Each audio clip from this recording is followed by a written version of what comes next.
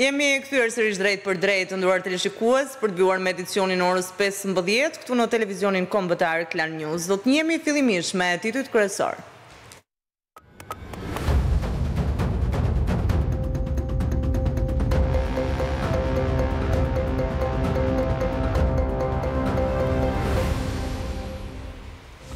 është ndarë papritur nga jeta në moshën 44 vjeçare ish deputeti i Partisë Demokratike Gerti Bogdani, ai pësoi arrest kardiak në një lokal dhe shkoi pa shenja jete në qendrën spitalore Nënë Tereza. Qeveria ka vendosur të indeksojë pensionet në masën e katër pikë një për qind. Lajmi është bërë i ditur nga ministri i Ekonomisë, Blendi Gonxhja, pas mbledhjes së Këshillit të Ministrave. Vendimi do të aplikohet për muajin tetor dhe në vijim. E përditshmja britanike The Independent e cilëson Shqipërinë si një nga destinacionet më të bukura për pushime dimërore, thekson se turistët do të përfitojnë nga ulja e çmimeve, sidomos në periudhën para Krishtlindjeve. Kryetari i Partisë Demokratike të Kosovës, Memli Krasniqi, thotë se aksionet e qeverisë në veri janë të karakterit populist. Ai akuzoi Kurtin se po mashtron qytetarët për të tërhequr vëmendjen nga problemet. Agjencia izraelite e spiunazhit Mossad vendosi eksploziv brenda 5000 pajisjeve të komunikimit të importuara nga Hezbollah. Kështu deklaroi siguria libaneze për ngjarjen që shkaktoi 12 viktima dhe mbi 2800 të plagosur.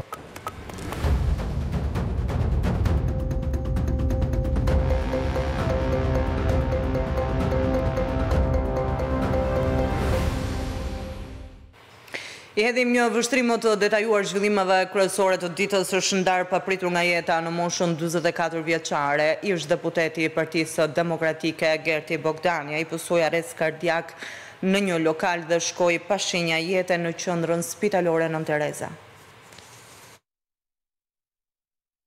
Ish-deputeti i Partisë Demokratike Gerti Bogdani, dyzet e katër vjeç, u nda nga jeta tragjikisht pas një ataku kardiak.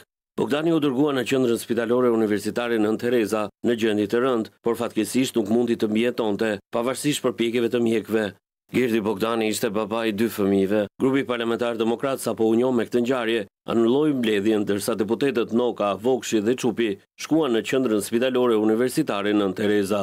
Edhe Këshilli për Rregulloren, Mandatet dhe Imunitetet ndërpreu mbledhjen për mocionin e një të dhjetës së deputetëve opozitarë për dërgimin në Kushtetuese të mbarimit të mandatit të deputetit socialist Vullnet Sinaj.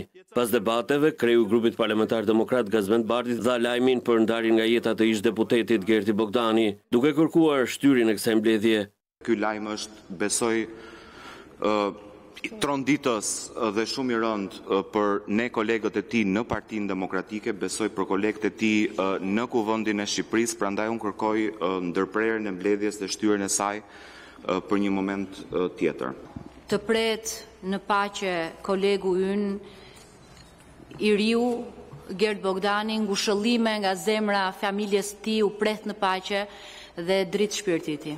Pas këtij lajmi tragjik, kryetarja e Kuvendit, Elisa Spiropali, mbylli punimet e kësaj mbledhjeje. Ngushëllime ka shprehur edhe kreu demokrat Sali Berisha, i cili ndërpreu me këtë rast konferencën e shtypit, Ka lënë vetëm përshtypje pozitive në çdo takim, në çdo komunikim. Ky është Gerti Bogdani. Ndaj dhe unë ju ftoj të ngrihemi e të nderojmë me një, me një minut heshtje kujtimin e ndritur të këtij personaliteti të shquar të ri, të Partisë Demokratike.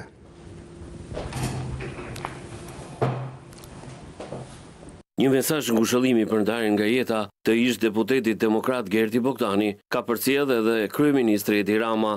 Gerti Bogdani lindi më shtatë korrik të vitit një mijë e nëntëqind e tetëdhjetë në Tiranë. Ai kreu studimet e larta në Nju Jork të Shteteve të Bashkuara të Amerikës. Bogdani e nisi karrierën politike në vitin dy mijë e shtatë, duke u angazhuar pranë Partisë Demokratike dhe po në këtë vit u zgjodh kryetar i Njësisë Bashkiake numër dhjetë në Tiranë. Në zgjedhjet parlamentare të vitit dy mijë e nëntë, Gerti Bogdani u zgjodh deputet, më pas ka qenë kryetar i Forumit Rinor të Partisë Demokratike.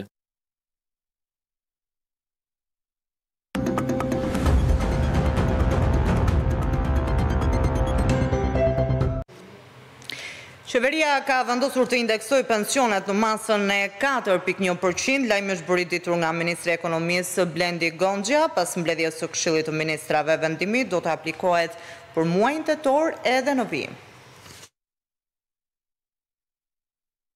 Duke filluar nga një tetori, pensionet do të indeksohen me katër pikë një për qind, bazuar në llogaritjen e INSTAT të indeksit mesatar vjetor të muajit gusht të këtij viti për mallrat e shportës për pensionistët. Lajmin e dha vetë ministri i Ekonomisë, Blendi Gonxhja, i cili theksoi se shtesa do të reflektohet tek pagesat e muajit tetor dhe janë mbi shtatëqind e nëntëdhjetë e një mijë përfitues. Nga ky vendim përfitojnë shtatëqind e nëntëdhjetë e një mijë e dyqind e pesëdhjetë e shtatë përfitues, pra pensionistë, sipas numrit të aktual të ndarë në këto dy kategori në shtatëqind e njëzet e një mijë e shtatëqind e pesë janë pensione nga skema e detyrueshme e pleqërisë dhe invaliditetit apo pensionet familjare dhe gjashtëdhjetë e tetë mijë e gjashtëqind e trembëdhjetë janë pensionet nga programet dhe trajtimet e veçanta të qeverisë si ish-ushtarakët, punonjësit e minierave apo naftarët, përfituesit e pensioneve të posaçme shtetërore dhe nga skema suplementare. Ministri i Ekonomisë nënvizoi se fokus i qeverisë është rishikimi i skemës së pensioneve dhe rritja e tyre.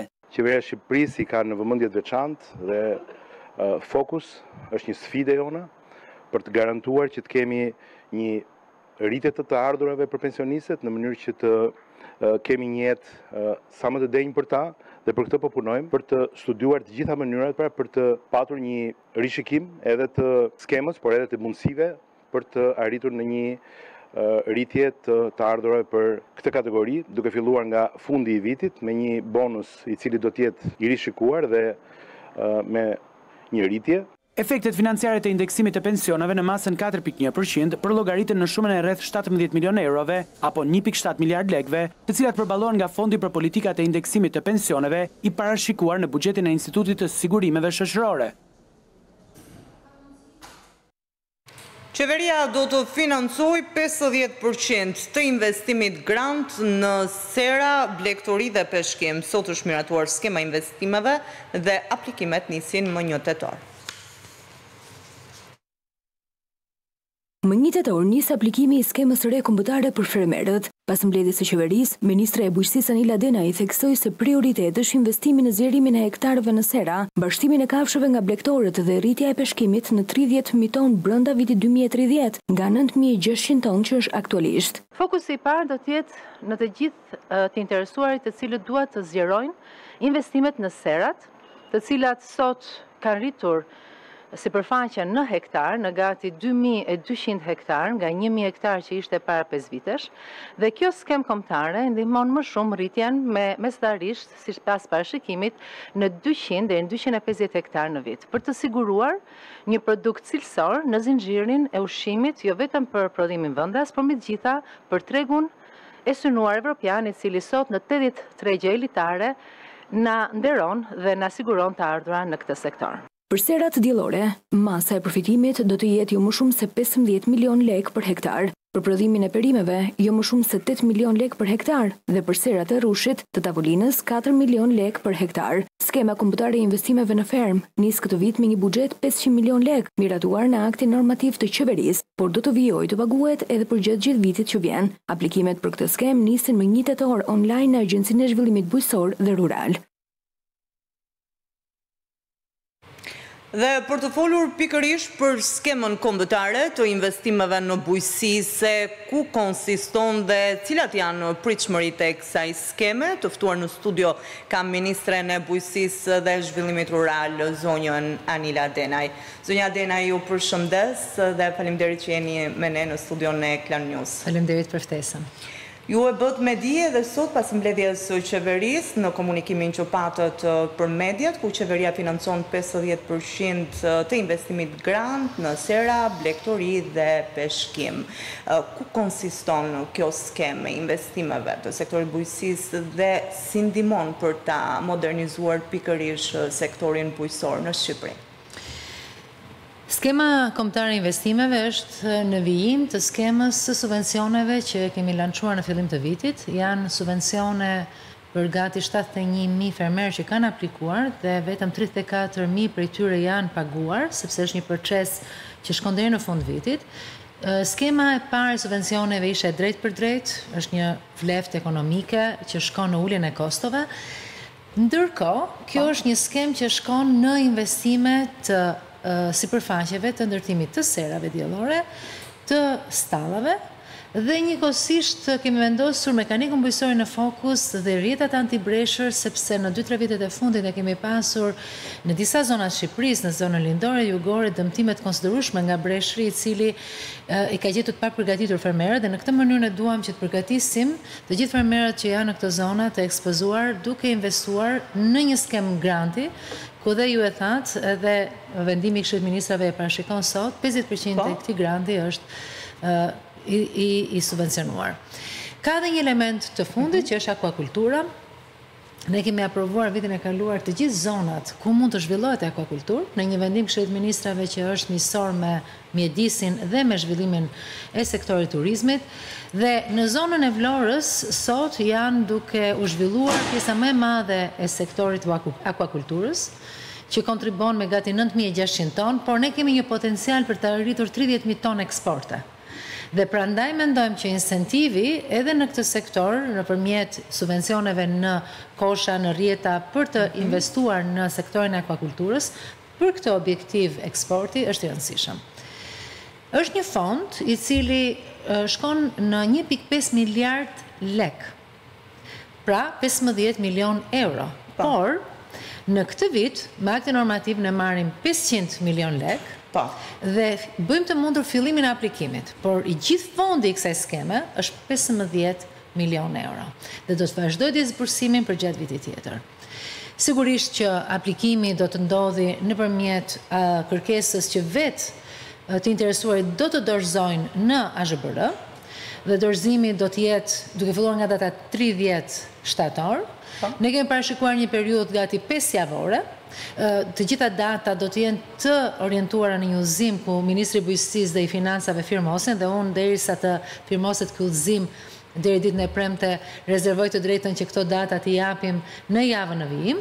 Por shumë e rëndësishme të fillojë të bëhet gati përgatitja e të gjithë të interesuarve për sera për stalla, për akuakulturë, për mekanikë bujqësore dhe për rrjete antibreshër. E qartë. Cilat janë përfituesit kryesorë të kësaj skeme? Tani, ndërkohë që fermerët dhe blegtorët na dëgjojnë, unë jam e bindur që të gjithë janë duke bërë gati kalkulimet e tyre, nevojat e tyre, sepse neve në sektorin e bujqësisë kemi përllogaritur që në qoftë se nuk investojmë dyqind e pesëdhjetë hektarë ndërtim serash çdo vit dhe kjo është si rezultat i sipërmarrjes në këtë drejtim, ne mundet të na ndërpritet zinxhiri i prodhimit. Dhe jo vetëm për atë sektor që furnizon tregun e brendshëm, i cili edhe falë lëvizjes gjithnjë në rritje të turistëve është Një presion i shtuar për prodhimin e zinxhirit ushqimor, por mbi të gjitha për të siguruar tregjet e eksportit, që ne sot i kemi të kontraktuara në gati tetëdhjetë tregje elitare dhe sigurisht një prodhim cilësor kërkon gjithnjë e më shumë vëllime. Pra, nevoja për sera është absolute për të rritur dhe për të nxitur prodhimin në sera në këto standarde për këto tregje mendojmë që është prioritet aplikimi i skemës së investimeve me skemë grante. Por le të mos harrojmë që blegtoria ka po aq rëndësi dhe kjo jo vetëm për faktin që ka shumë të angazhuar në sektorin e blegtorisë dhe përtej gjithë polemikave politike të numrit të krerëve unë dua të theksoj që e rëndësishme është sa është numri i fermave dhe fermave me shumë krerë bagëti. Sepse ekonomia e shkallës është ajo që realizon konkurrueshmërinë dhe prodhimin cilësor. Prandaj edhe këtu kemi vendosur fokus që këto investime të cilat i plotësojnë standardet e higjienës, standardet e Bashkimit Evropian në raport dhe me sipërfaqen, të kenë mundësi të marrin grant pesëdhjetë përqind dhe të rrisin numrin e fermave me më shumë se pesëdhjetë krerë gjedhë apo më shumë se njëqind të imta, që është një nivel optimal për të pasur një fermë me ekonomi të qëndrueshme. Për sa i takon mekanikës, do të thosha që mekanika bujqësore mund të jetë ajo tradicionale, e thënë me fjalë thjeshta traktor dhe shumë mjete të tjera të cilat ju duhen të gjithëve në punën e tyre të përditshme, le të themi në një serë e cila ka sot prodhimin e rrushit të vreshtave, unë kam vizituar shumë të tilla në zonën e Fierit, ata kanë nevojë për traktor për të eliminuar jo vetëm rritjen e vëllimit të kostove, por dhe mungesën e ndonjë fuqie punëtore që mund të evidentohet. Por mbi të gjitha për të arritur shpejt me prodhimin në treg, sepse dhe kjo është një një domosdoshmëri.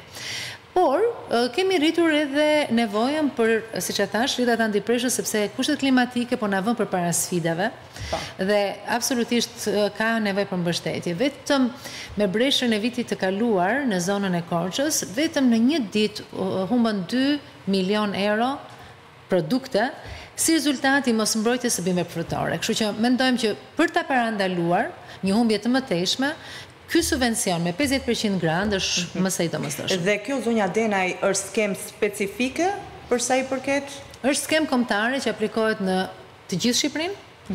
Dhe ne gjatë gjithë kohës, duke filluar nga dita e sotme dhe deri në vijim të përfundimit të afatit të aplikimit, që unë besoj do jetë data tetë ose dhjetë nëntor, pasi fillon në tridhjetë shtator dhe do të lëmë pesë javë po, që të aplikojnë kërkesat e tyre, sigurisht që dua të bëj me dije të gjithë të interesuarit që ne do të kemi kushtet minimale të aplikimit, Por ato elementë që lidhen me lejet e ndërtimit që nuk mund të përfitohen në pesë javë, ne nuk do t'i kemi kushte paraprake. Pra, të gjitha lejet të cilat do të merren nga institucione të tjera në vijim, mund të merren dhe gjatë kohës përtej afatit të dorëzimit të dosjes. Por, një plan biznesi për ndërtimin e serës apo elementët kryesorë si Objektivi që do të realizojë përfituesi janë të domosdoshme për tek kërkesa e parë që duhet dorëzuar menjëherë brenda muajit që vjen. Ka një element i cili ka të lidhë ka të bëjë me parapagimin. Nëse një dosje e cila aplikohet në këtë periudhë pesëjavore që përmenda, le të themi tridhjetë shtator, dhjetë nëntor, dhe kalon filtrin e të gjithë kërkesave të cilat AZHBR me ekipin e vet do t'i realizojë brenda periudhës së nëntorit deri në mes të dhjetorit, nëse shpallet fitues dhe lidhet kontrata dhe çdo element është sikurse i vendosur në kushtet e kërkuara, ne mund të bëjmë parapagime sepse fondin e kemi në dispozicion të siguruar nga akti normativ dhe parapagimi Për këtë vit është tridhjetë për qind. Pra fondi që ne kemi marrë me vlerë pesëqind milionë lekë, ne mund ta disbursojmë që këtë vit.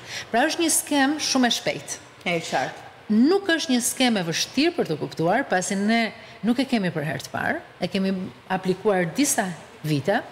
Fermerët të cilët na e kanë kërkuar këtë skemë, jam e bindur që me të dëgjuar këtë lajm janë duke u përgatitur për të aplikuar.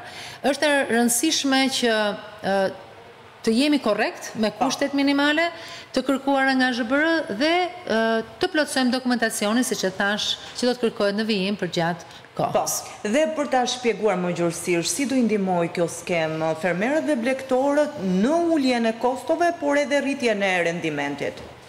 Po, në qoftë se flasim për të gjithë të angazhuarit në zonën e Myzeqesë të paktën që ju e shikoni ka çdo ditë e më shumë shtohen sipërfaqet e serave. Unë edhe në insertin që ju përmendët e kam theksuar që janë rritur në pesë vite dy mijë e dyqind hektarë, pra nga një mijë ka shkuar dy mijë e dyqind hektarë sipërfaqja e serave. Kjo ka bërë që ne në Pritshmërinë që kemi për rritjen e prodhimit bujqësor, sidomos në perime, ta kemi gjithmonë pozitive këto vite. Katër pikë katër për qind është në rritje çdo vit dhe vetëm prodhimi në sera është pesë pikë pesë për qind. Dhe është një sektor ku ne jemi të detyruar të investojmë edhe me incentiva sepse ka kërkesë. Pra, nxit prodhimin. realizon protokolle më të sigurta mbrojtje dhe nga kushtet klimatike dhe daljen në treg në mënyrë optimale në mënyrë që të kemi një çmim më të sigurt për produktin që punohet. Por e njëjta vlen edhe për sektorin e blegtorisë. Në sektorin e blegtorisë ka një karakteristikë që unë dua ta theksoj, vërtet ne kemi një numër shumë të madh fermash dhe në pamje të parë kjo është pak kontradiktore kur mendon që ky prodhim vendas mund të ketë ndoshta nevojë për një vëmendje dhe më të madhe në raport me skemat kombëtare, të cilat i ka sot, sepse pesëdhjetë për qind e skemës subvencioneve është për mbështetje drejtpërdrejt dhe sot ka dhe skemën e investimeve. Problemi është që tridhjetë e gjashtë për qind e fermave janë një deri në pesë lopë. Dhe është shumë e vështirë që të hysh në një sipërmarrje kur ke një madhësi të vogël ferme. Kjo ka qenë arsyeja pse ne i nxisnim të bashkoheshin në bashkim operatorësh për skemën kombëtare të subvencioneve, mbase është shumë e vështirë të bashkohen për një skemë investimesh, por është një thirrje për të gjithë të interesuarit që duan të investojnë në ekonomi shkalle, në sektorin e blegtorisë, sepse vetëm kështu ne mund t'ia dalim të jemi kompetitivë. Po mbetëm të vegjël. Me një deri në pesë lopë në pjesën më të madhe të mbarështimit të kafshëve, gjedhëve, atëherë do të jetë shumë e vështirë që ne të konkurrojmë denjësisht, pavarësisht nga cilësia që mund të jetë e mirë. Ë Ndërkohë, tek mekanika, unë them dhe e them gjithmonë, të gjithë kanë nevojë. Edhe ata që nuk do investojnë në sera, edhe ata që nuk do investojnë në stabilimentet e mbarështimit të kafshëve, sepse mekanika bujqësore është e domosdoshme sot, për çdo të angazhuar në bujqësi. Kështu që unë them të gjithë do përfitojnë, ata që kanë NIPT fermeri dhe është shumë e rëndësishme që përgjatë kësaj jave, javës që vjen, të jemi të vëmendshëm për të marrë të gjithë informacionin e duhur dhe që nga data tridhjetë shtator të kemi mundësi të aplikojmë. Ka disa limite shumash, ju e përmendët që edhe në insertin tim unë e thashë, janë limite të cilat shkojnë për përfitim për hektarë sera, në mënyrë që të jetë edhe e diversifikuar dhe të jetë e shpërndarë, të mos jetë e kufizuar në një grup. Janë detaje që unë besoj në këtë kohë që ne kemi sot në dispozicion do ishin do merrnin shumë kohë, megjithatë do të jenë transparente në faqen tonë të webit, në të gjithë komunikimet tona të AZHBR-së, drejtoritë rajonale do të jenë dhe pikat tona agro do të jenë të gjitha në dispozicion të gjithë fermerëve. Unë së bashku me ekipin tim drejtues do të jemi në takime me fermerë, kështu që nuk do mungojë informacioni, është thjesht një incentivë sot që me ditën e parë të lançimit për të bërë një ndërgjegjësim të një skeme që na e kanë kërkuar vetë fermerët dhe blegtorët dhe është një skemë komplementare e skemës subvencioneve dhe unë me këtë mendoj që kemi realizuar një objektiv shumë të mirë të këtij viti për mbështetje financiare shumë më tepër të shtuar se çdo vit tjetër. Është mbështetja më e lartë financiare që është realizuar në vitet e fundit. Do presim fund e vitit për ta konkluduar me shifra. Çfarë rëndësie ka rritja e sipërfaqeve të serave në Shqipëri dhe si ndikon kjo në zinxhirin e prodhimit shqiptar, referuar këtu edhe tregut vendas, por edhe atij ndërkombëtar? Në radhë të parë për sigurinë ushqimore kjo është një domosdoshmëri, sepse ne kemi vënë re që prodhimi i ndodhur në sera ndodh sipas protokolleve që agronomët tanë, ata që janë në terren, gjithnjë e më pak kanë nevojë të këshillojnë fermerët tanë, sepse fermerët janë të këshilluar tashmë në mënyrën se si ndiqet protokolli. Shumë nga fermat apo serat që unë kam. vizituar edhe luftën ndaj insekteve e bëjnë me insekte. Pra është një luftë biologjike e cila rrit vlerën e produktit dhe në tregun vendas dhe në tregun ndërkombëtar. Ne mendojmë që ekonomia bujqësore është sot e qëndrueshme, përtej çdo debati politik. Ndodh aty në terren në zonat intensive bujqësore, po të shkosh në Lushnjë, Divjakë, të shkosh në Berat, ka sipërfaqe që mund të jenë ende të painvestuara në sera dhe ky është një incentiv i shtuar, por sot ka ndodhur një revolucion, në pesë vitet e fundit është dyfishuar sipërfaqja dhe kjo ka qenë arsye pse janë rritur eksportet. Sepse eksportet që flasim në fund të vitit dy mijë e njëzet e tre, po flasim për gjashtëqind e pesëdhjetë milionë euro eksporte, nuk ndodhin rastësisht. Dhe ndodhin falë politikave, por dhe mbështetjes financiare.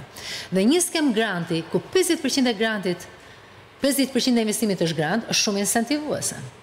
Ndërkohë, në muajin korrik ne bëmë një ndryshim thelbësor dhe kjo erdhi si rezultat i një kërkese që kryeministri Rama Na dha një grupi deputetësh të Partisë Socialiste vitin e kaluar, pasi kishin ardhur disa ankesa në raport me disa kufizime që kishin ndërtimi i serave dhe stallave me distanca nga një nga rrugët kryesore, nga një sipërmarrje tek tjetra, vëllimi i përdorur ishte i kufizuar në shtatëdhjetë për qind.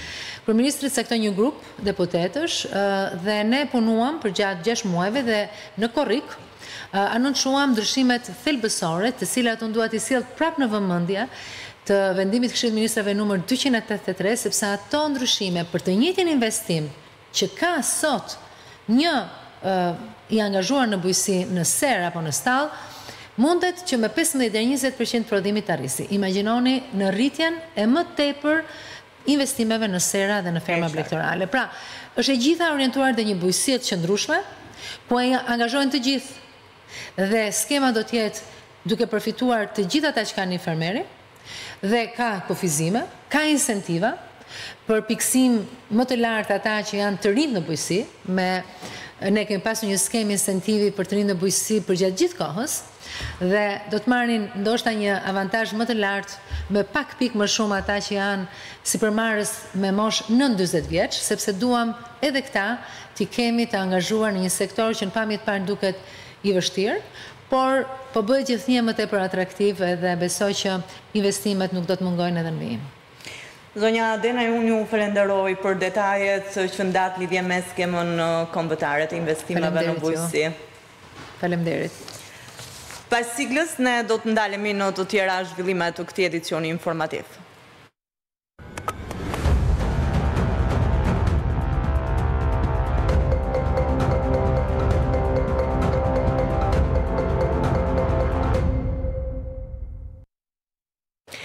Shefat e shtabeve të vendeve të Iniciativës SHBA Karta e Adriatikut janë mbledhur në Tiranë. Gjatë fjalës së tij në këtë takim, presidenti Bajram Begaj theksoi se bashkëpunimi mes vendeve dhe veçanërisht me Shtetet e Bashkuara të Amerikës është gur themeli për paqen dhe sigurinë në rajon. Në konferencën e njëzet e shtatë të shefave të Shtabit të Përgjithshëm të Iniciativës Shtetet e Bashkuara Karta e Adriatikut është diskutuar rritja e shpenzimeve të mbrojtjes mbi pragun e dy për qind të Produktit të Brendshëm Bruto. Kjo ka qenë një kërkesë e vazhdueshme e kandidatit për president të Shteteve të Bashkuara Donald Trump. Ndërkaq presidenti Begaj ka vlerësuar rritjen e bashkëpunimit me aleatët në NATO. Historia nuk duhet harruar. Ndryshe, Rrezikojmë të përsërisim gabimet. Unë besoj se përmes përpjekjeve të përbashkëta dhe angazhimit tonë ndaj vlerave euroatlantike, ne jemi në gjendje të përballemi me këto sfida dhe të sigurojmë që Ballkani Perëndimor të ecë drejt një të ardhmeje më të sigurt e të qëndrueshme. Në këtë kontekst, roli i Shqipërisë dhe i shqiptarëve në rajon është i qartë dhe konstruktiv. Shqipëria ka luajtur dhe do të vazhdojë të luajë një rol kyç në ruajtjen e paqes dhe stabilitetit në Ballkanin Perëndimor. Ministri i Mbrojtjes, Pirro Vengu, u shpreh se Shqipëria do të vijojë të jetë avokate e palëkundur e bashkëpunimit rajonal edhe në fushën e mbrojtjes. Shpeshherë dëgjojmë zëra përçarës, partnerë të vlerave perëndimore në deklarata, por ithtarë dhe shërbëtorë të dukshëm të luftrave hibride të lindjes në realitet dhe në praktikë. Këto zëra nxisin grupet ultranacionaliste dhe kriminale dhe vendosin në pikëpyetje shpesh stabilitetin dhe sigurinë e rajonit tonë. Shqipëria do të vijojë të jetë një avokate e palëkundur e bashkëpunimit rajonal dhe një mori iniciativash rajonale si Karta e Adriatikut qëndrojnë në thelb të veprimtarisë tonë të bashkëpunimit ushtarak dhe civil. Komandanti i Forcave Amerikane në Evropë, Gjeneral Christopher Cavoli, vlerësoi ambiciet e Shqipërisë për të rigjallëruar industrinë e mbrojtjes, nismat e ndërmarra për investime, si dhe ofrimin e Porto Romanos si bazë për NATO-n. Ambasada amerikane ka reaguar pas takimit që Komandanti Suprem i Forcave Aleate në Europë, njëherazi Komandant i Forcave Amerikane në Evropë, Gjeneral Christopher G. Cavoli zhvilloi me kryeministrin Edi Rama. Takimi theksoi lidhjet e forta në fushën e mbrojtjes midis Shteteve të Bashkuara dhe Shqipërisë, përfshirë rolin kyç të Shqipërisë në NATO dhe përpjekjet e përbashkëta ushtarake, të cilat janë jetike për çuarjen përpara të paqes në rajon dhe më gjërë, thuhet në postimin e ambasadës amerikane.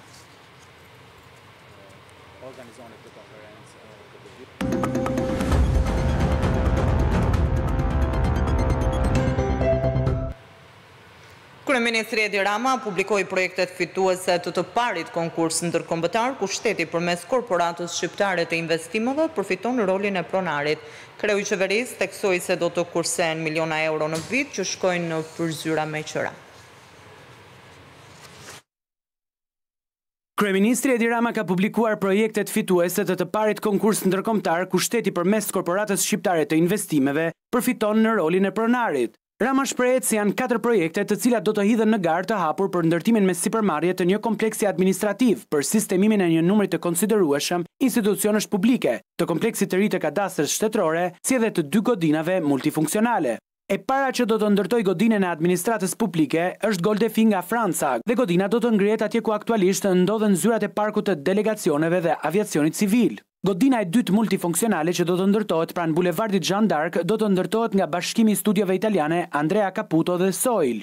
Një tjetër studio italiane është shpallur fituese me projektin e godinës së kadastrës Studio Baukuh.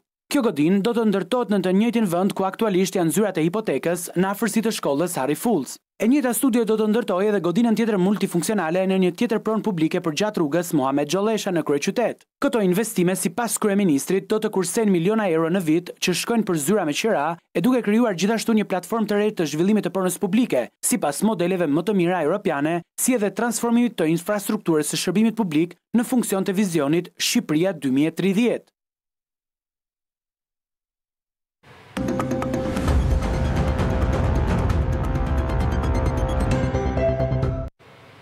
Gjykata e Shkodrës ka caktuar masën e sigurisë arrest me burg për Lulzim Rakajn, autorin e plagosjes së dyfishtë në Vrakë të Malësisë së Madhe. Pala mbrojtëse ka kërkuar masë lehtësuese, duke theksuar se Rakaj ka vepruar në kushte të vetëmbrojtjes, por nuk u pranua nga gjykata.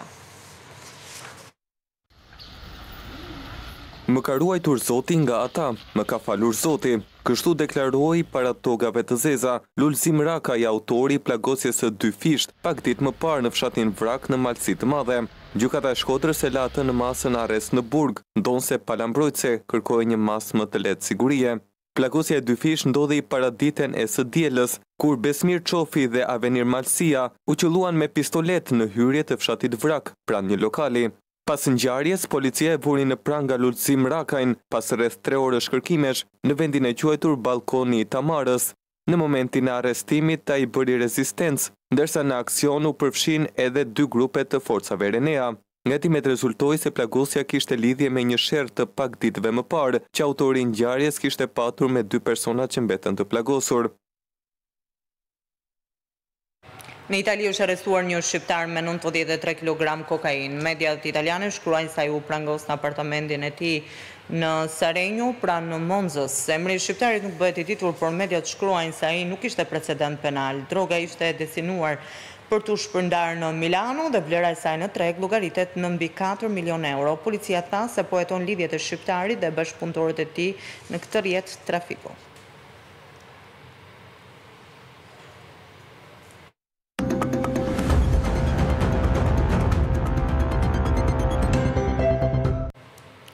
E përditshmja britanike The Independent, cilëson Shqipërinë si një nga destinacionet më të bukura për pushime dimërore, thekson se turistët do të përfitojnë nga ulja e çmimeve në akomodim dhe transport, sidomos në periudhën para Krishtlindjeve.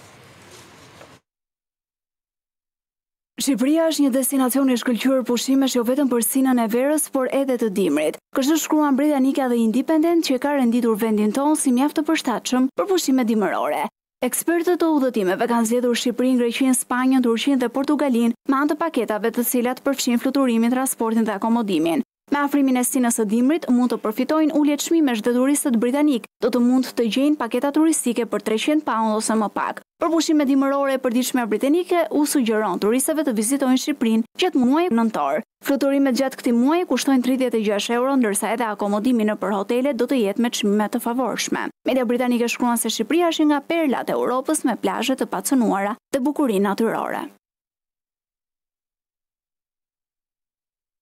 Një velier me flamur grek u ankorua këtë mëngjes në portin e Durrësit e solli dyzet turistë amerikanë të cilët po zhvillojnë një tur në Mesdhe.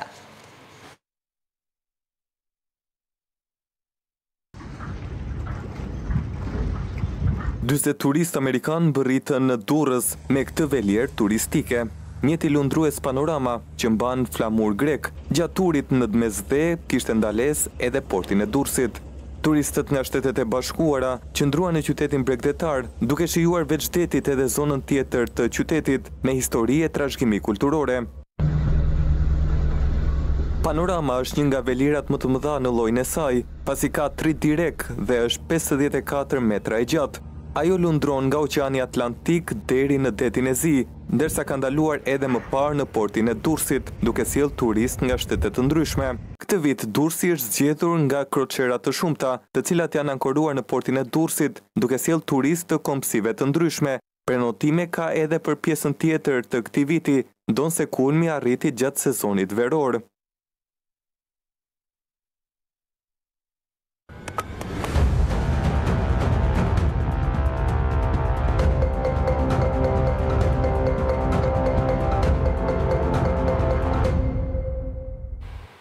Kryetarja e Kuvendit Elisa Spiropali deklaroi se Shqipëria do të vijojë mbështetje ndaj Ukrainës deri në çlirimin e saj. Këtë qëndrim ajo e mbajti në Forumin për Ukrainën organizuar në kuadër të Festivalit Ndërkombëtar të Filmit për të Drejtat e Njeriut në Shqipëri. Në forumin për Ukrainën, kryeparlamentarja Elisa Spiropali theksoi se mbështetja do të vijojë deri në çlirimin e saj, kthimin e rendit ndërkombëtar dhe rindërtimin e vendit. Mbështetja jonë e vendosur për Ukrainën do të vijojë, Jo vetëm për çlirimin e saj e deri në çlirimin e saj, për mbrojtjen e sovranitetit e tërësisë territoriale, por edhe për sigurinë, kthimin e rendit ndërkombëtar, për një paqe të drejtë dhe të qëndrueshme dhe në rindërtimin e vendit. Ambasadori i Bashkimit Europian në Tiranë, Silvio Gonzato, deklaroi se Kuvendi i Shqipërisë po kthehet në vendin ku qytetarët po ushtrojnë të drejtat e tyre. Kuvendi është një hapësirë shumë e rëndësishme për demokracinë dhe sundimin e ligjit. Parlamentet janë rojtarët e të drejtave të njeriut dhe të drejtësisë. Ofrojnë gjithashtu një forum ku dëgjohen zërat e qytetarëve dhe është vendi ku japin llogari ata që janë në pushtet. Parlamenti nën udhëheqjen tuaj dëshiron të jetë më i hapur. të ketë më shumë kujdes për pritshmëritë që kanë qytetarët dhe të jetë një vend dialogu. Pjesëmarrësit e Festivalit Ndërkombëtar të Filmit për të Drejtat e Njeriut ndoqën dokumentarin Të përgjuarit, prodhim i vitit dy mijë e njëzet e katër që rrëfen shkatërrimin e Ukrainës prej luftës. Një sulm me dron ukrainas në Rusi shkaktoi një shpërthim të madh dhe detyroi evakuimin e pjesshëm të banorëve në rajonin Tver. Për shkak të situatës së krijuar janë mbyllur edhe institucionet arsimore. Një evakuim i pjesshëm është urdhëruar në rajonin Tver të Rusisë pas një sulmi ukrainas me dron i cili shkaktoi zjarr të fuqishëm. Sulmi shënjestroi një depo municioni ku ndodhet edhe arsenali më i madh rus në qytetin Toropec, duke sjellë një seri shpërthimesh. Gjithashtu u godit një vend i mbajtjes së raketave dhe artilerisë. Aty ndodheshin rreth 30.000 ton municione të ndryshme. Ndërkaq, edhe një depo që mbante sistemet raketore S treqind dhe S katërqind, raketat balistike Iskander dhe raketat KN njëzet e tre të Koresë së Veriut u shkatërruan nga Ukraina. Autoritetet në Toropec vendosën në dispozicion autobusët për të evakuuar banorët, ndërsa janë mbyllur shkollat dhe kopshtet rajonale. Sulme u raportuan edhe në rajonet perëndimore të Rusisë.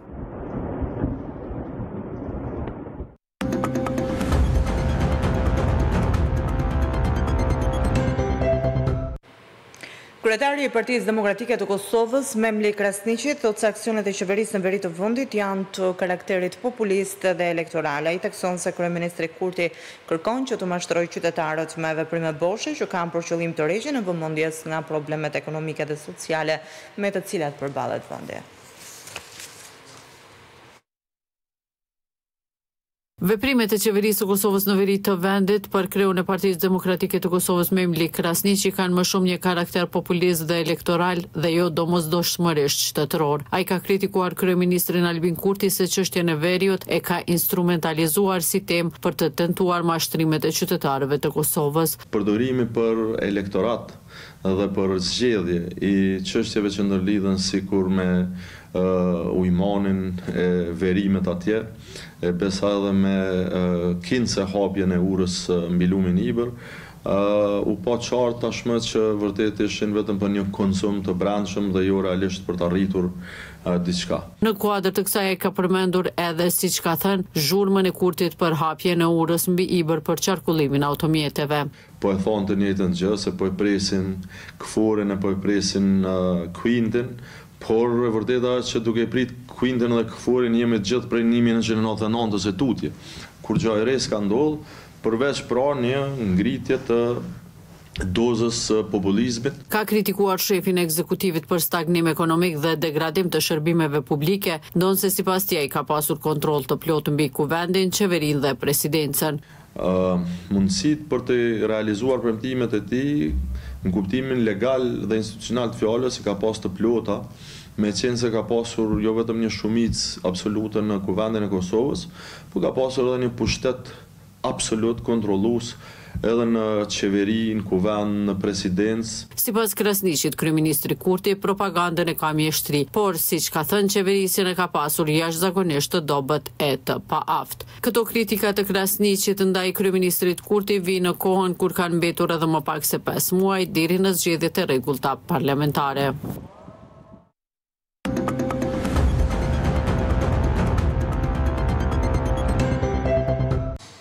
Agjencia izraelite e spiunazhit Mossad vendosi eksploziv brenda pesë mijë pagerve të importuar nga grupi libanez Hezbollah, muaj para shpërthimeve të së martës. Kështu deklaroi siguria libaneze për ngjarjen që shkaktoi dymbëdhjetë viktima dhe mbi dy mijë e tetëqind të plagosur.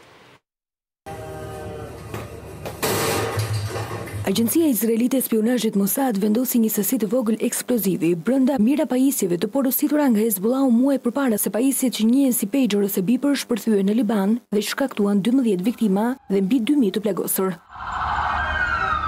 Një zyrtar i lartë në Liban ka bërë të ditur se grupi militant kishte porositur pesë mijë beepers nga Gold Apollo, një kompani me bazë në Tajvan, të cilat ishin sjellë në Liban në pranverën e këtij viti. Po ashtu, pajisjet ishin modifikuar nga shërbimi spiun izraelit në nivel prodhimi. Kjo vjen pasi udhëheqësi i Hezbollahut, Hassan Nasrallah, paralajmëroi anëtarët e grupit në muajin shkurt të këtij viti që të mos mbanin telefonat celularë sepse Izraeli mund t'i përdorë ato për të gjurmuar lëvizjet e tyre.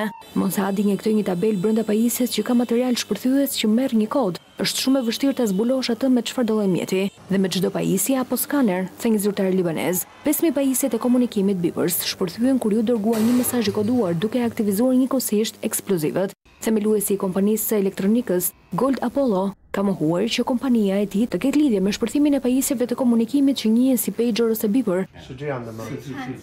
Sun Ching Kuang ka bërë të ditur se kompania e tij kishte nënshkruar një marrëveshje me një kompani europiane për të prodhuar pajisjet. Sipas tij, ai ka dhënë autorizimin e markës dhe se kompania nuk ka asnjë lloj përfshirje në projektimin ose prodhimin e këtij produkti. Burimet thanë për agjencinë e lajmeve Reuters se beeperat janë prodhuar në një fabrikë në Budapest. Ndërsa Tajvani nuk ka gjasa të ketë qenë i përfshirë drejtpërdrejt, incidenti megjithatë ngre pyetje për industrinë e teknologjisë së Tajvanit duke patur parasysh rëndësinë e tij për zinxhirët e furnizimit global. Ndërkaq, Departamenti Amerikan i Shtetit, Pentagoni si dhe Shtëpia e Bardhë kanë mohuar gjithashtu përfshirje në sulm. Hezbollahu në një deklaratë ka bërë të ditur se rezistenca do të vazhdojë si çdo ditë tjetër dhe se armiku duhet të presë përgjigje ndaj masakrës të së martës. Dhuratat e shtrenjta që janë marrë kohët e fundit nga kryeministri britanik Keir Starmer po i shkaktojnë probleme këtij të fundit. Pas kritikave të vazhdueshme, ai ka pranuar para autoriteteve të gjitha dhuratat që ka marrë edhe gjatë zgjedhjeve të cilat kapin shifrën e shtatëdhjetë e gjashtë mijë paundëve. Kryeministri britanik Keir Starmer është vënë në qendër të kritikave për shkak të dhuratave që ka marrë kreu i qeverisë. Gjashtëdhjetë e dy vjeçari ka deklaruar për autoritetet biletat dhe dhuratat që ka përfituar kohët e fundit, numri i të cilave ia kalon liderëve të tjerë të partive të mëdha në Britani. Kryeministri ka pranuar pothuajse dyzet bileta gjatë kohës së tij si lider i laburistëve, kryesisht për ndeshje futbolli por edhe për koncerte ku ai ka ndjekur performancat e yjeve të muzikës Taylor Swift dhe Coldplay. Ai u kritikua këtë javë për dhuratat që mori nga politikani tjetër Lord Alli. Këto përfshijnë veshje në shifrën dymbëdhjetë mijë paund dhe syze me vlerë dy mijë e katërqind e tetëdhjetë e pesë. Po ashtu, media e njohur Financial Times bëri të ditur se gjatë zgjedhjeve ai kishte marrë dhurata me vlerë shtatëdhjetë e gjashtë mijë paund. Në këtë shifër përfshihen edhe akomodimet e liderit laburist nëpër hotele të ndryshme. Keir Starmer ka sqaruar më herët se ai pranon bileta kur dëshiron të shikojë ndeshje futbolli ose koncerte. edhe për shkak të kërkesave që lidhen me sigurinë.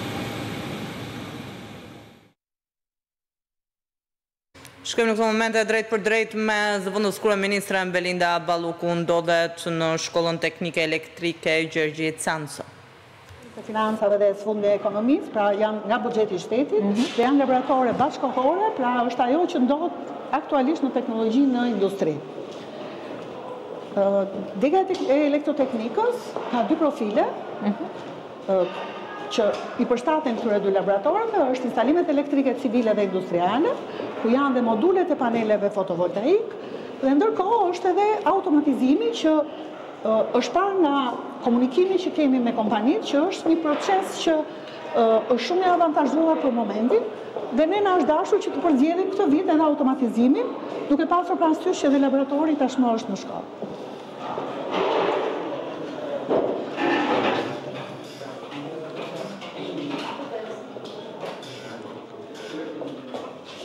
Përshëndetje. Si jeni? Si jeni ju? Përshëndetje të gjithëve. Atëherë, laboratori është i instalimeve elektrike civile dhe industriale. Mhm. Instruktorja është inxhiniere elektrike me profesion, vjen nga prodhimi, kështu që e kemi aset në shkollë.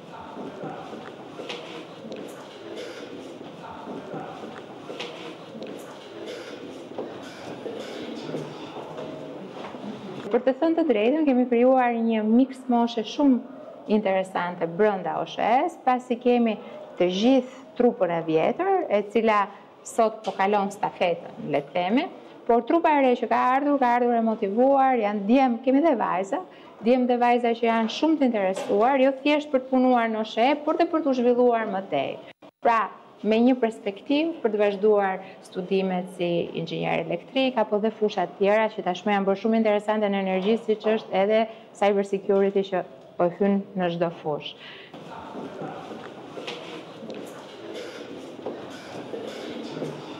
Përshëndetje. Si jeni? Si ja çoni ju? Përshëndetje të gjithëve. Si jeni? Do jemi laboratori i automatizimit. Ne këtu po, po thonë se kemi përshtatur një fabrikë Kurse këto dy stendat ne i përdorim për për të lëshuar motorra, pra për të vendosur në punë pajisje të këto elektromotorët asinkron përgjithësisht të fabrikave. Të fabrikave dhe bëjmë eksperimente të ndryshme me nxënësit. Çfarë viti është? Viti i tretë. I treti? Pra sapo kanë filluar profilin e automatizimit. Ka një javë që janë njohur me laboratorin edhe me çfarë ofron mundësi tregu për këtë profil. Ne kemi marrë nëpërmjet një pyetësori dëshirat e nxënësve, por ku e shikojnë, në cilin profil duan të profilizohen dhe pastaj në konsultim me grupin e inxhinierëve, për që i kanë zhvilluar praktikat profesionale dy vitet e para, kanë parë dhe dhuntinë ku ky nxënës mund të qaset më mirë. Nevoja më e madhe që ne kemi sot Është tekniku elektricist ose inxhinieri elektrik. Pasi pasi është një treg që ka shumë nevojë dhe ne kemi vendosur të hapim dyert për të rinjtë nga tetëmbëdhjetë deri në njëzet e pesë vjeç. Shumë suksese. Faleminderit. Dhe keni zgjedhur një profesion shumë të bukur, i cili nuk është thjesht profesion, por është dhe mision për t'i shërbyer. qytetarëve. Suksese. Faleminderit. Pafshim. Shkolla Elektrike Gjergj Canco gjatë gjithë vitit shkollor minimalisht dy projekte kombëtare dhe ndërkombëtare, pra thirrje të Bashkimit Evropian, i ka fituar gjithnjë. Këtu ndodhemi tek panelet fotovoltaike që ne arrijmë të prodhojmë energji. Sa është kapaciteti? Është 26 kilowatt e kemi në në ditë. Kështu që ne arrijmë ta plotësojmë në ditët me diell totalisht nevojat, po. Ne kemi aplikuar edhe në projekte thirrje që janë hapur nga KfW-ja dhe Fondi Rajonal i Sfidave. Shkëlqyer. Dhe shkolla ka aplikuar dhe ka fituar dhe Ne kemi fituar thirrjen e parë. Po. Do zhvillohet një laborator i ri me investimin e Fondit të Sfidave dhe do do të theksonim që këtë vit kemi pasur mbi 20 aplikime, kemi qenë vendi i parë në nivel sasie në Ballkanin Perëndimor dhe kemi pasur numrin më të lartë të fituesve. në këtë fond konkurrimi. Për shkak të këtij angazhimi të madh, fituan dhe një dritare unike prej 10 milionë euro, i cili është një kompozim i, i fondeve nga vende të ndryshme të Bashkimit Evropian, ku do konkurrojnë vetëm shkollat e Shqipërisë për të marrë fonde për të ndërtuar laboratore. si për sistemin publik, po ashtu dhe për sistemin privat. Shumë e qartë. Ministria e Infrastrukturës dhe Energjisë ka qenë e para që aplikoi praktikisht eficiencën e energjisë në ndërtesat publike. Dhe ne sot, përveç faktit që është e rikonstruktuar e gjithë ministria, në mënyrë të tillë, pra që të ketë uh, izolimin e duhur dhe gjithçka tjetër që aplikohet në të tilla raste, duke nisur nga dritaret, nga dyert, uh, hidroizolimi etj. Por ne prodhojmë energjinë tonë siç dhe ju në tarracën e Ministrisë së Infrastrukturës dhe të Energjisë. Kemi pasur shumë iniciativa të tjera të mira që janë spitale, janë shkolla dhe kjo duhet të jetë duhet të jetë një shembull për t'u ndjekur, për të thënë të drejtën. Kemi nisur tani një proces të tërë me ujësjellësa, duke qenë se problemi kryesor që ata kanë për sa i përket shpenzimeve është patjetër shpenzimet që kanë për energjinë elektrike, sidomos ato ujësjellësa që janë me sisteme pompimi, kështu që këto janë iniciativa të mira që duhen promovuar dhe për më tepër juve ju shërben dhe si laborator. Po, sepse kemi profilin e tillë që merret me panelet fotovoltaik dhe nxënësi e bën dhe praktikisht zhvillon praktikën edhe në kushtet e shkollës. Është një laborator në kushtet e shkollës, por që ndërkohë operon duke ju ofruar ju në ditët me diell plotësisht kapacitetin e nevojshme për shkollën. Ndërkohë që thamë në ditët që janë më pak me diell deri në 50%. Deri në 50% shkëlqyer. Përshëndetje të gjithëve, shumë faleminderit që jeni këtu sot. I kemi kërkuar drejtueses tuaj që të kishim mundësinë për të ardhur dhe për të bërë një bisedë të përbashkët, për sa i përket një nga projektet më të reja që ne kemi në fushën e energjisë, dhe pavarësisht se OSHE-ja si një nismëtare ka vendosur ta quajë Akademia e OSHE-së, unë e quaj Akademia e Energjisë, pasi do të përgatisë jo vetëm profesionistët e ardhshëm të cilët do të kontribuojnë në OSHE Group, pra në operatorin e shpërndarjes, por nga ana tjetër unë synoj dhe i gjithë stafi i Ministrisë së Infrastrukturës dhe të Energjisë synojnë që në këtë akademi të përgatiten të gjitha stafet të cilat do të kontribuojnë në sektorin energjetik, përfshirë këtu operatorin e transmetimit, OST, që unë e pashë që ishte një nga partnerët tuaj, pra aty tek tabelat ku keni prezantuar të gjithë partnerët, apo edhe Korporatën Elektroenergjetike Shqiptare si një nga komponentët më të rëndësishëm dhe le të themi Kolona bazë e mbajtjes së sistemit energjetik, duke qenë se Korporata Elektroenergjetike Shqiptare është prodhuesi vendas, i cili mbulon rreth shtatëdhjetë e pesë për qind të kërkesës së tregut për sa i përket një viti në konsum, por edhe më shumë në vitet e mira kur nga ana hidrike ne kemi prurjet e duhura. Megjithatë, siç ju e dini, pasi e kemi thënë shpeshherë, tashmë Republika e Shqipërisë është duke zhvilluar burime alternative për të mos qenë në varësi totale të flukseve hidrike, duke zhvilluar kështu edhe panelet fotovoltaike përmes ankandeve publike që ne kemi hapur dhe kanë ecur në mënyrë të suksesshme, apo edhe ankandeve eolike. Nga ana tjetër, po e diskutoja edhe me disa prej jush në laboratorët që vizituam, Sigurisht, Shqipëria tashmë është futur në rrugën e inovacionit dhe për ne edhe përdorimi i hidrogjenit në të ardhmen, por edhe burimet e tjera alternative të qëndrueshme siç është gazi i lëngshëm, bazuar mbi teknologji të cilat sigurojnë emetime sa më të ulëta, do të jenë zgjidhje për prodhimin vendas, pasi Shqipëria synon që në vitin dy mijë e tridhjetë të kthehet në një vend eksportues neto dhe jo importues siç jemi sot. E gjithë kjo situatë, i gjithë ky plan, pa dyshim kërkon kolonën më të rëndësishme që ka çdo sektor që janë burimet njerëzore. Burimet njerëzore që pa dyshim janë aseti më i çmuar edhe për fushën energjetike. Për këtë arsye, prej disa kohësh, më shumë se një viti tashmë, nën drejtimin e Enea Karakaçit, që ka ardhur me një frymë të re nga Ministria e Infrastrukturës dhe Energjisë dhe është në krye të OSHE Group, ne kemi nisur një reformë të thellë për sa i përket ngritjes së kapaciteteve njerëzore në OSHE Group si kompania më e madhe energjetike që ne kemi. Për këtë arsye, Vitin e kaluar lançuam një thirrje, e cila në fillim u duk pak e çuditshme, pasi ishte një thirrje që kufizonte moshën e aplikantëve.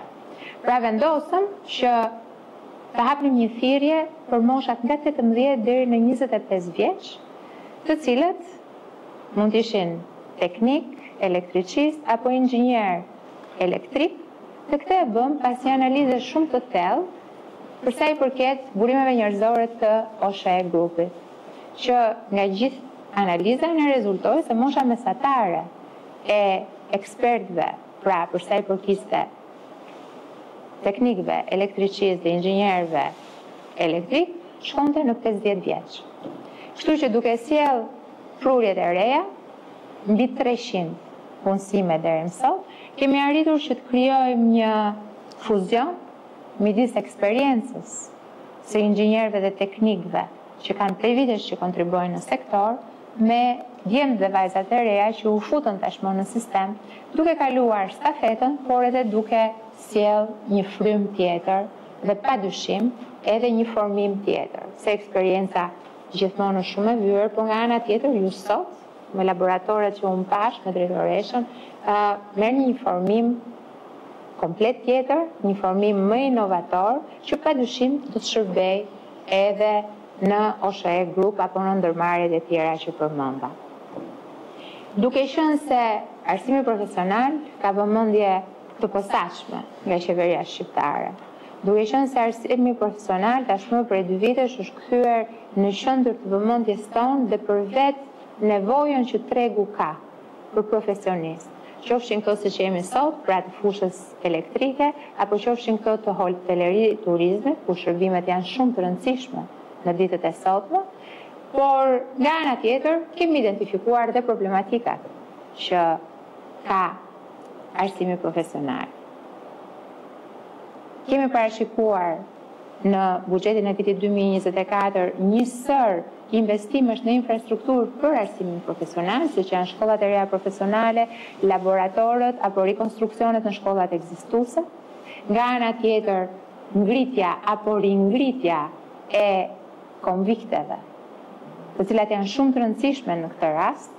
duke motivuar kështu edhe nxënës të cilët jetojnë në zona të largëta për t'u afruar afër qendrave ku ndodhen këto shkolla profesionale dhe çfarë është më e rëndësishme, kemi bërë një bashkëpunim të shkëlqyer me Zyrën e Punës, Klevisi është këtu sot me mua, sepse ky është dhe synimi, që të nxisim të rinjtë që ta zgjedhin profesionin e tyre që në fillim, pra që në moshën katërmbëdhjetë vjeçare, dhe për të pasur një armatë e cila është e disponueshme në varësi të planeve që secili nxënës ka që në moshën tetëmbëdhjetë vjeç ose më pas për të vazhduar arsimin e lartë, por tashmë të profilizuar nga vetë përzgjedhja që kanë bërë në shkollat profesionale. Dhe nga ç'duket ia kemi dalë me sukses Klevis apo jo? Pasi sivjet kemi dhjetë për qind më shumë nxënës të regjistruar në arsimin profesional. Pra kemi katër mijë e pesëqind nxënës të cilët studiojnë sot në shkollat e arsimit profesional dhe synimi ynë është që ky numër të rritet gjithmonë e më shumë. Pastaj, kur ka një bashkëpunim të mirë dhe me kompanitë shtetërore, që mbulojnë fusha të ndryshme të cilat i përkasin shkollave të arsimit profesional të ndryshëm, siç është rasti juaj, shkolla juaj, Gjergj Canco njihet për projektet e shumta që zhvillohen këtu, për nxënësit e shkëlqyer sot nuk është më një term, nxënësit inovatorë, do thoja unë, se për këtë ka nevojë Shqipëria, për mendje inovatore, të cilat nuk mungojnë në shkollën tuaj dhe janë gjithmonë të parët në aplikime, në konkurse etj. Unë do desha që ta nënvizoja dhe këtë e them shpesh sa herë takoj drejtoreshën tuaj që pa dyshim edhe vetë mënyra se si ajo e udhëheq procesin në këtë shkollë bën diferencën nga shkollat e tjera dhe për ne është një shembull për t'u marrë nga të gjithë drejtuesit e tjerë në arsimin profesional por ajo çka është e rëndësishme që ju do t'ju motivonte do të ishte një bashkëpunim sa më i mirë me kompani qofshin këto private apo publike të cilat do gjenin ndër ju profesionistët kontributorë në të ardhmen. Unë mund të flas pafund për arsimin profesional sepse e kam për zemër, por do t'ia lija fjalën Enea Karakaçit, administratorit OSHEE Group, si nismëtari i kësaj akademie, e cila pavarësisht se kanë dëshirë t'i vënd këtë emër, nuk do ta ketë kështu, do ta ketë Akademia e Energjisë. Dhe për të thënë të drejtën, ne kemi dhe një plan për ta zmadhuar më shumë, ku të përfshijmë edhe teknikët të cilët e kanë të lidhur profesionin e tyre me hidron. Pasi të dyja këto shërbime, Siç është energjia, ashtu dhe uji dhe kanalizimet janë dy shërbimet bazike të nevojshme për çdo familje, për çdo abonent, por nga ana tjetër dhe për zhvillimin e biznesit dhe sidomos sektorëve kritikë në Republikën e Shqipërisë, siç është rasti i turizmit, që po rezulton sektori ekonomik më i rëndësishëm, apo siç është rasti i bujqësisë, një sektor tradicional, i cili vazhdon të kontribuojë ndjeshëm në zhvillimin ekonomik të vendit. Enea. Faleminderit zonja Zëvendës Kryeministre. Në fakt ne kemi disa kohë, rreth një vit që diskutojmë me ministrinë, por edhe ndjekur posaçërisht nga ju krijimin e, le të themi, kësaj strukture brenda për brenda kompanisë tonë, që lidhet me arsimin profesional, por edhe me një qendër edukimi të posaçme. Pse vjen kjo nismë? E para sepse ne mendojmë që kompania jonë, siç e referuat edhe ju, i ka të gjitha resurset e brendshme për sa i përket aspekteve të punonjësve më të mirë, sepse është dhe kompania më e madhe publike, ka dhe numrin më të madh të profesionistëve të fushës inxhinierike, ka inxhiniera elektrikë më të vjetër, të rinj, dhe po ashtu ne pretendojmë dhe mendojmë që i kemi dhe më të mirë. Dhe si e tillë, ne kemi menduar që të krijojmë këtë qendër të posaçme, Që, sigurisht ne kemi quajtur Akademia OSHEE, jemi shumë të lumtur që të jetë Akademia e Energjisë. Ë, në të, dhe kemi bërë dhe aplikimin në Qendrën Kombëtare të Biznesit, pra nuk është vetëm një akademi e krijuar, të themi, në dëshirën tonë, por ne po, po marrim gjitha masat që të jemi një institucion i akredituar ligjërisht dhe i aftë të japë licenca dhe certifikata përkatëse. Ë, ne shikojmë këtë akademi të ndarë në tre drejtime. ku sigurisht drejtimi i parë është bërja e trajnimeve periodike dhe fillestare për punonjësit dhe stafin tonë që vjen për herë të parë në kompani apo në mënyrë të vazhdueshme. Pra imagjinoni këto nxënës të rinj që vijnë për herë të parë në kompaninë OSHEE, sigurisht që kanë nevojë një trajnim të dedikuar praktik të si funksionon kompania dhe cilat janë mekanizmat dhe asetet tona. Elementi i dytë i kësaj akademie është bashkëpunimi shumë i ngushtë që do ketë me shkollat e mesme profesionale. Ne duam që të kemi një modul të posaçëm që t'jua paraqesim ju shkollat e mesme profesionale dhe të cilët nxënësit të vijnë të bëjnë trajnime te ne. Ne pamë me shumë kënaqësi laboratoret që janë në këtë shkollë, po imagjinoni të vini në kompaninë tonë dhe të shikoni në mënyrë përkatëse praktike asetet. Dhe kjo mos të jetë vetëm një fazë, le të themi, praktike, siç ndodh dhe sot, por të jetë një modul i posaçëm ku ku nxënësit së pari të marrin një, le të themi, edukim teorik çfarë është OSHEE, çfarë është operatori i sistemit shpërndarjes dhe disa elementë bazë të tregut energjetik, por dhe pastaj të kenë një fazë avancimi në praktikë. Çfarë ndodh kjo? Përveçse ne bëjmë një përgjegjësi sociale, të tonën që kemi që të edukojmë brezin e ri, kemi edhe mundësi që të kemi akses të menjëhershëm për të marrë më të mirët në treg. Ne kemi mundësi që të marrim më të mirët nxënës të shkollave profesionale. Dhe sigurisht elementi i tretë është bashkëpunimi me universitetet, ku përsëri kemi fakultetet e inxhinierisë elektrike dhe fakultetet e inxhinierisë ndërtimit, të cilët ne duhet të krijojmë fushë bashkëpunimi për të thithur nga njëra anë inxhinierët më të mirë, por edhe ne për të kontribuar për t'i dhënë edukim sa më të mirë dhe për të patur elemente sa më të mira. Siç e thashë, ne kemi aplikuar në Qendrën Kombëtare të Biznesit, do jetë një akademi e cila do ketë aftësinë që të japi certifikatë përkatëse për çdo, le të themi, nxënës që merr pjesë në këtë akademi. Faleminderit. Lëviz. Unë do E përgëzoja nismën dhe e falënderoja së pari OSHEE-në për iniciativën, një nga sfidat më të mëdha që ne ndeshim në tregun e punës janë kapacitetet aftësuese që vetë bizneset kanë.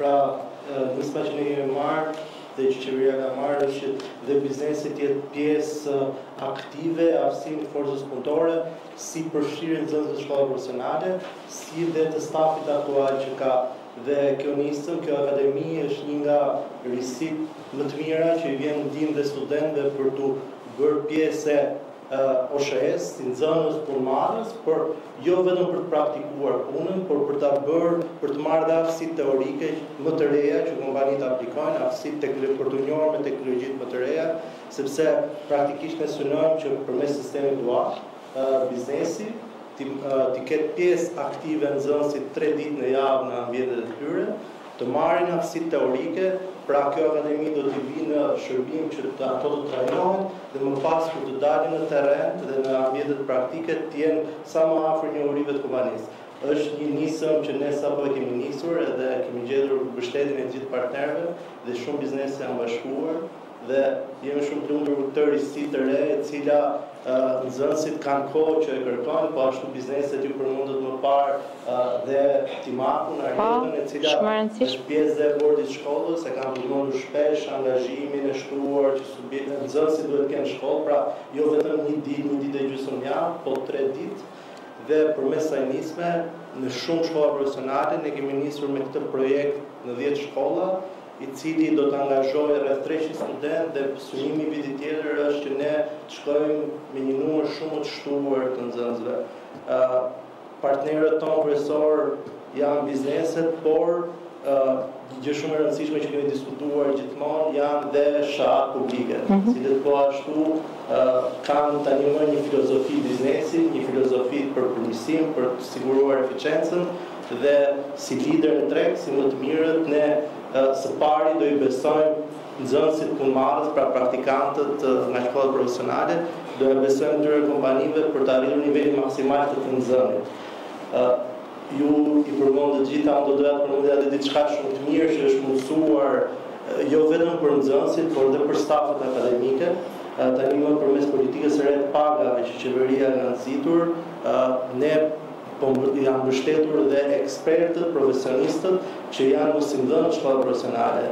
Për mësuesit me eksperiencë paga është rritur rreth treqind mijë lekë të vjetra, çka është domethënëse shumë për t'i motivuar ata në mësimdhënie, po po ashtu na jep ne mundësinë që të kemi dhe mentorë të kualifikuar nga biznesi, profesionistë të mirëpaguar që japin dije aktive në ambientet e investuara që ne kemi. Shumë faleminderit. Shumë faleminderit Xhevi, unë s'do të isha që t'ju mbaja shumë gjatë, po i takon drejtoreshës se zonja e shtëpisë që të thotë ndonjë fjalë për këtë projektin e përbashkët, megjithëse ju këtu gëloni nga projektet dhe